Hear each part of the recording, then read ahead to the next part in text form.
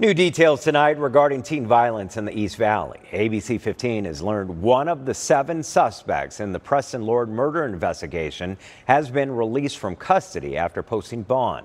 Our investigators have confirmed 17 year old Talyn Vigil is out of police custody but does have electronic monitoring. The other six suspects remain in custody. All seven defendants are expected back in court May 9th. We'll be there to track those developments.